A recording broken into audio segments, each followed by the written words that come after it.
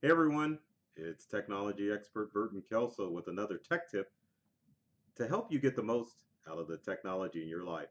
Today we're talking about Macintosh computers and how specific apps can access your microphone and your camera.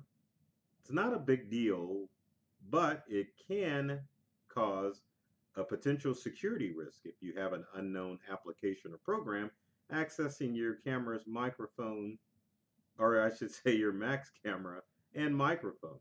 The reason I said that is because sometimes they're two in one. And especially on Macs, they're all embedded. So you really have to be careful on your Macintosh computer.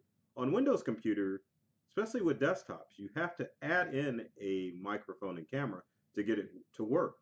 Now with the Windows laptop, the camera and microphone is already included. But on all Apple products except for Mac Mini, your camera and microphone are integrated, which can cause a security risk because these applications can be monitoring your hardware, meaning your camera and microphone, which are running all the time.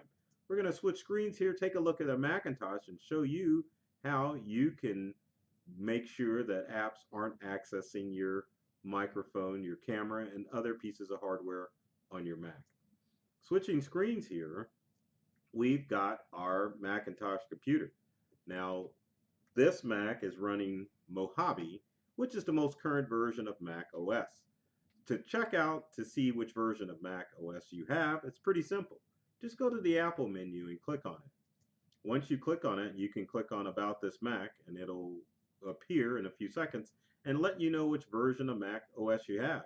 Currently, the most recent version of Mac OS is Mojave.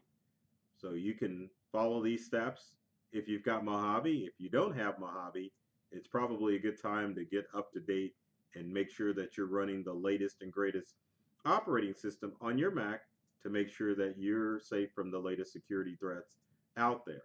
If you've got an older Mac, it's a good possibility that you can't update to Mojave, but you can follow these same steps in High Sierra, which is the version of Mac OS behind Mojave. Now, getting back to our mission, let's go to where you can see how to find out what programs are accessing the hardware on your computer. Now we're going to go back to the Apple menu, which is in the upper left-hand corner of your Mac. Doesn't matter if you have an iMac, a Mac Mini, or a MacBook Pro or Air. Once you are in the Apple menu, you can just go to System Preferences. Once you click on System Preferences, you want to navigate to the icon that says Security and Privacy. Let's go ahead and double click on that icon. After a few seconds, we'll get the, the privacy and security settings. Now, when you initially click on security and privacy, it'll take you to the general section. This stuff you can ignore, but let's go back so that you can see that again. So at the Apple menu, it'll take you to security and privacy. Once you click on that, it'll start on general. What you want to navigate to is the privacy section. Once you're under privacy, it will show you all of your programs and location services on your MacBooks to see or to show you which apps are accessing specific details.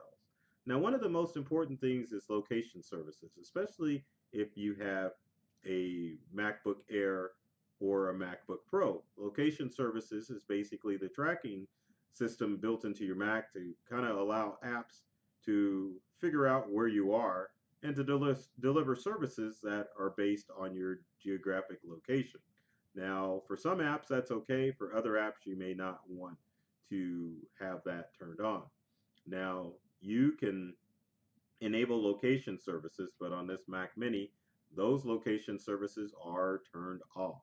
Now, to go and look at see what all the other apps on your Mac are accessing, it's a pretty simple process of just clicking on each icon and the program will tell you which programs are accessing the apps in hand. So for example, for contacts, CCleaner is accessing the, this app. Now, I don't know why, but that might be something that you want to turn off because if it's an app you're not familiar with, you don't necessarily want it messing around with some of the apps that are built into your Macintosh. So if you want to turn off CCleaner from accessing contacts, just a simple matter of clicking CCleaner and then it'll it will not allow you to or CCleaner to access your contacts. Now, same thing for calendar, reminders, or any other apps. If you look over on the right hand side, if there's any apps that are attached to both software and hardware, they'll be listed on the right hand side. Now, for camera and microphone, there are currently on this Mac Mini no apps that are accessing programs here. But if you click on your camera and microphone and you see apps that are on the right hand side, like we did under contacts, you want to make sure that you uncheck that app to make sure that those applications don't have access to your microphone and camera.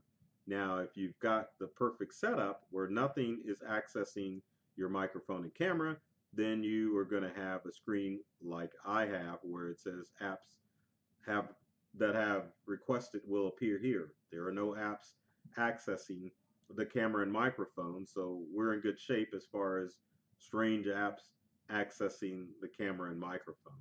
One other thing that you might want to check is full disk access. Now that means that there are programs that can have access to the full capacity of your Mac product.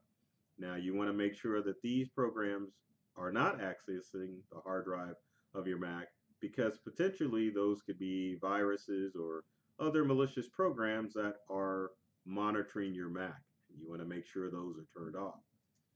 But the most important thing is is the camera and the microphone. So do your due diligence. Go into your uh, system preferences. Make sure you go under security and make sure that there are no apps accessing your microphone and camera on your MacBook.